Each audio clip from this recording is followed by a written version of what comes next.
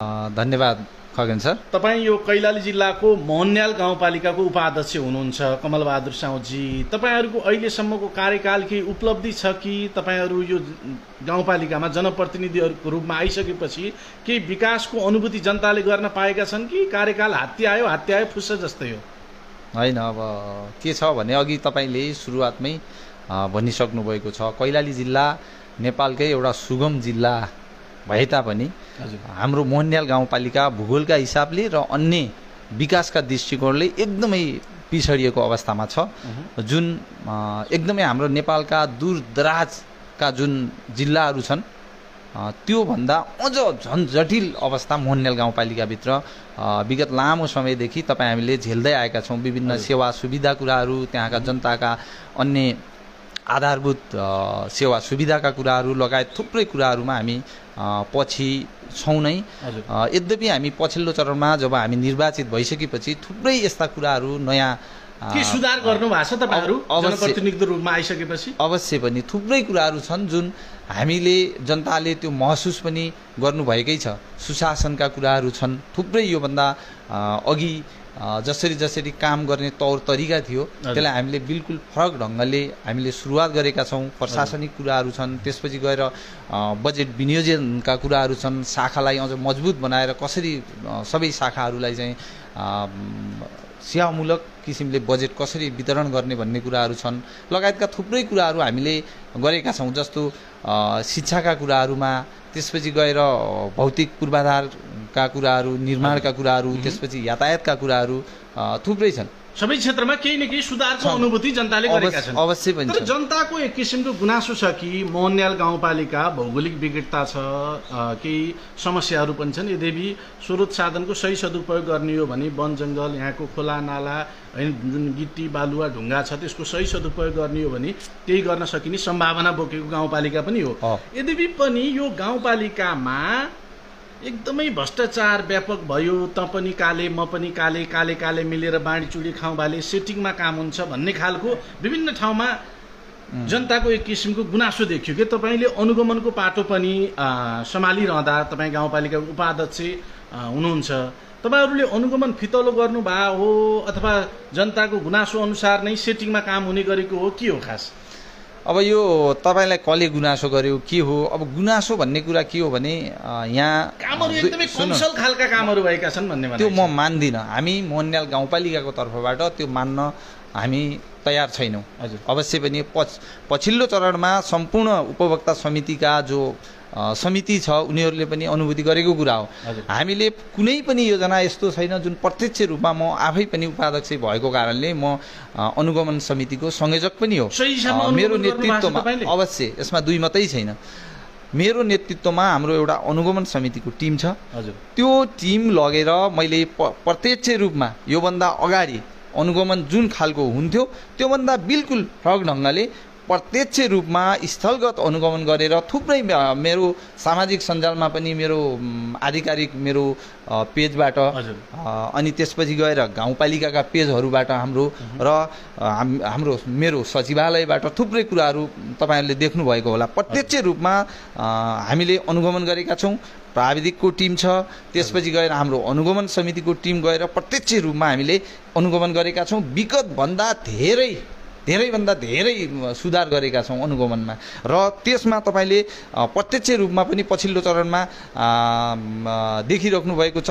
कुनै पनि त्यत्र ठुला योजनाहरू अर्थात् योजनाहरूमा त्यति गुनासो आएको छैन। सामान्यतया केही कुराहरू एकदमै म एकदमै नितान्त भ्रष्टाचार भन्ने कुरा त म आफै पनि सुन्नुहोस् म आफै सुरुवाती जब मैले केही महिना म आफै कार्यवाहक भएर पनि चलाउने एउटा मैले त्यो अनुभव पनि मैले समेटेको छु। मैले त्यो अनुभव पनि लिएको छु।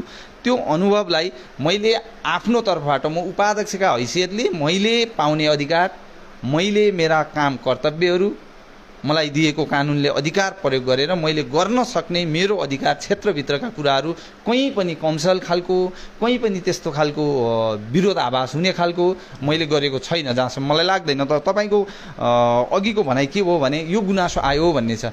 यहाँ दुई किसिमको दुई तिन किसिमका जनताहरू छन्। कोही के छ भने कोही पार्टीगत रूपमा पनि जति राम्रो कामलाई पनि जहिले पनि आलोचना बनाइराख्ने जहिले पनि जति राम्रो कामलाई पनि विरोध गरिराख्ने खालका एउटा जुन समाजमा। जुन तब्का छ हो त्यसले भनेको कुरालाई विश्वास गर्नुहुन्छ। या समग्र मोहनल्यालवासी आम दाजुभाइ दिदीबहिनीहरूले अहिले महसुस गरेको कुरा छ।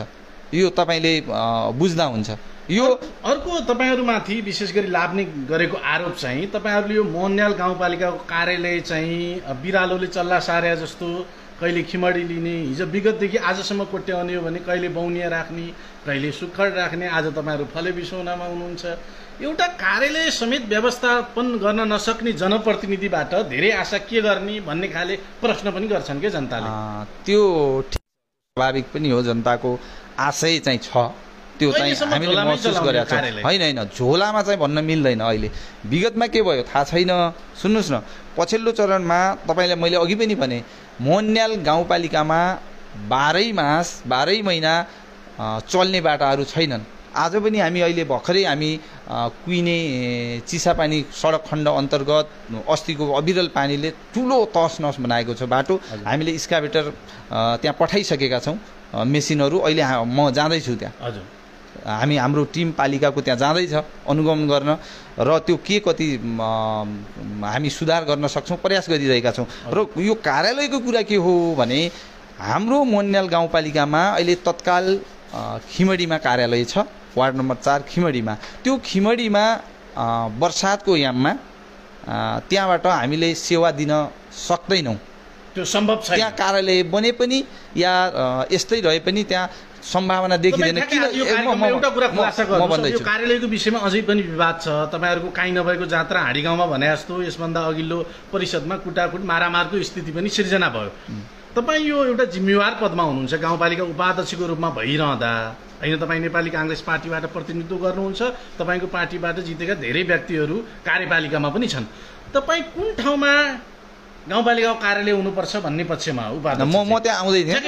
सुन्नु न। म त्यहाँ त्यहाँ आउँदै थिएँ। विवाद छ नि त तपाईँ ठिक छ छ एकदमै छ। सुन्नु न म अघिकै प्रश्नमा म टुङ्ग्याउँदै थिएँ त्यसपछि यो विषयमा आउँछु। कार्यालयको कुरा के हो भने त्यहाँ अहिले तत्काल हाम्रो क्लोजिङ चलिरहेछ। आज अन्तिम दिन हो। आजै हामीले यो बिचमा बर्सातका कारणले हामीसँग इन्टरनेट सेवा त्यहाँ उपलब्ध छैन। ल- अविरल वर्षा भइरहेको छ। यातायात कोलोनीका का कुराहरू छन् त्यहाँ हामीले बिल पेस गर्नुपर्ने भुक्तानी आजै पनि थुप्रै योजना ठेक्काका कुराहरू आज अन्तिम दिन छ। अहिलेसम्म हाम्रो कोलोनीकाले निकासा भएको छैन गरेको छैन। थुप्रै योजनाहरू त्यस्तो छ। हामी सही इन्टरनेट सेवा भएको पर्याप्त हामीले अलिकति यो कोलोजिङको बेला त्यो ठाउँमा यदि हामीले स्थानान्तरण तत्कालका लागि सेवा सुचारू गरेनौँ भने हाम्रा थुप्रै योजनाहरू हाम्रो फ्रिज हुने सम्भावना हुन्छ। त्यो भएको कारणले फलेबिसनबाट त्यो सम्भावना नदेखिए के अरे खिमडीबाट नदेखिएपछि तत्कालका लागि यो केही दिनका लागि भुक्तानी प्रयोजनका लागि अहिले फलेबिसनबाट सुरुवात भएको छ। केही दिनका लागि अब यो भुक्तानी प्रयोजनका लागि मात्रै हो। भनेर मात्रै हो। नभए त यो ठुलो विकराल समस्या आउँछ। र अर्को कुरा के हो भने यसो अहिले यति बेला थुप्रैलाई लाग्न सक्छ सुन्नु न म आउँदैछु। मान्छेहरू वडा अध्यक्ष पनि छन् कार्यपालिकामा पनि काङ्ग्रेसको एक हिसाबमा वर्चस्व छ। तपाईँ काङ्ग्रेसबाट प्रतिनिधित्व गर्नुहुन्छ त्यसको नेतृत्व गर्नुहुन्छ। तपाईँ कुन ठाउँमा गाउँपालिकाको कार्यालय हुनुपर्छ भन्ने पक्षमा म यो यो कुरा जनतालाई राम्ररी थाहा छ। मैले। सुन्नु न। यो कुरा जनताहरूले नेपाली काङ्ग्रेसको आधिकारिक धारणा पनि थाहा छ। र म म उपाध्यक्ष मात्रै नभएर नेपाली काङ्ग्रेस? मोन्यालको सभापति पनि भएका कारणले मैले पार्टीको पनि मैले जिम्मा लिनुपर्छ पार्टीका कुराहरू धारणा पनि मैले राख्नु राखेको छु बेला बेलामा। हामी मिटिङ बसेका छौँ सर्वदलीय बैठक बसेको छ थुप्रै अभ्यासहरू गरेका छौँ। त्यसका लागि मोहन्याल गाउँपालिकाको कार्यालय बिच सेन्टरमा हुनुपर्छ भनेर हामीले भनिसकेका छौँ। तपाईँलाई थाहै छ हामीले चोसेगाँडा हो नि। हो अब सुन्नु चोसेकाँडामा मेरो गाउँपालिकाको कार्यालय हुनुपर्छ भन्ने सुन्नुहोस् न, हामी हिजोका। सुन्नु न। हिजोको दिनमा थियौँ र अहिलेको दिनमा हामी अभ्यास गर्दै गर्दा अहिले आएर हिजो हाम्रो स्पष्ट धारणा हाम्रो आधिकारिक पार्टीको धारणा पनि हो र सम्पूर्ण मोन्याली जनताहरूले पनि बिच सेन्टरमा हुँदा ठिक छ भन्ने खालको सबैलाई त्यो सहज हुन्छ भन्ने नै थियो। र विविध कारणले पछिल्लो चरणमा हामीले पास गरेर पनि केही कारणवश हामीले अब त्यो गर्न सकेनौँ। त्यो छुट्टै पाटो रह्यो। र पछिल्लो चरणमा अहिले आउँदा कार्यालयको विषयमा कहीँ कतै आवाज उठेको छैन। जनताहरूले कार्यालयको विषयमा बिच सेन्टरमा होस् भन्ने अझ पनि चाहन्छन्। त्यसका लागि हामी प्रयास गरिरहेका छौँ। त्यो म उपाध्यक्ष एक्लैले चाहेर गर्न सकिने अवस्था होइन र म अहिले त्यो सार्नुपर्छ भन्ने अहिले तत्कालका लागि म सारिहाल्नुपर्छ भन्ने पक्षमा छैन। सबैको सहमति भएपछि यो प्रस्ताव दिने पक्षमा उपयुक्त ठाउँ हो। भन्नेमा म अझ पनि छु। तर के हो भने सारिहाल्ने कुरामा चाहिँ म एक्लै उपाध्यक्षले काँधमा राखेर सार्ने मिल्ने भए म उहिल्यै सार सारिसक्ने सबैलाई त्यो सम्भावना छैन। सम्पूर्ण गाउँसभाका सदस्यहरूको दुई तिहाईको बहुमतले निर्णय गरेपछि बल्ल सर्ने भएको कारणले त्यतातिर अहिले म जाँदिनँ। कार्यालय अहिले नै यो मैले सार्ने चाहिँ होइन। सम्पूर्ण टिम अध्यक्षज्यू त्यसपछि उपाध्यक्ष गाउँसभा सदस्यहरू सम्पूर्णको सल्लाह भयो भने यो सर्न सक्छ। र अहिले म तत्काल यो सारिहाल्नुपर्छ अब नै भन्ने खालको अहिले चाहिँ मेरो त्यो दिमागबाट लगभग हटि हटाइसकेँ मैले अब। अब अन्तिममा के भन्न चाहनुहुन्छ उपाध्यक्षज्यू? तपाईँ मोहनयाल गाउँपालिकाको उपाध्यक्ष हुनुहुन्छ। मोहनयाल गाउँपालिका भौगोलिक विविधताका कारण थुप्रै समस्याहरू छन्। यहाँ बाटोघाटो शिक्षा स्वास्थ्य खानेपानी हरेक दृष्टिकोणले हेर्ने हो भने जनताका थुप्रै समस्याहरू छन्।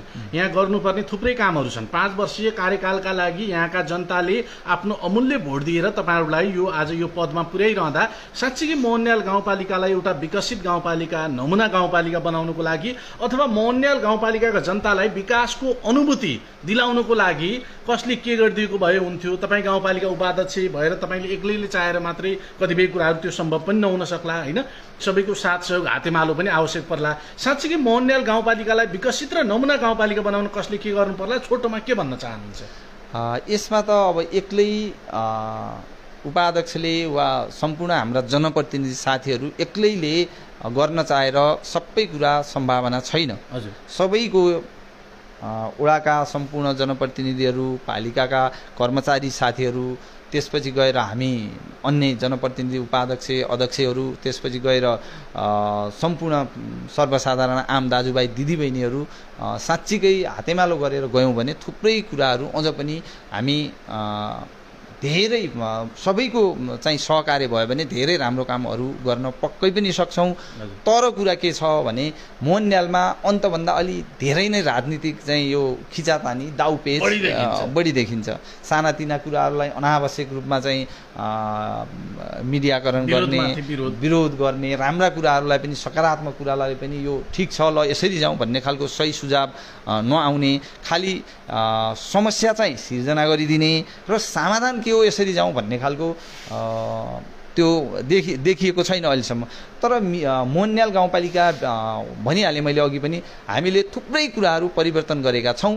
ती कुरा कुराहरू मिडियामा आएका छैन होलान् या मैले आफैले भन्न पाएको छैन होला।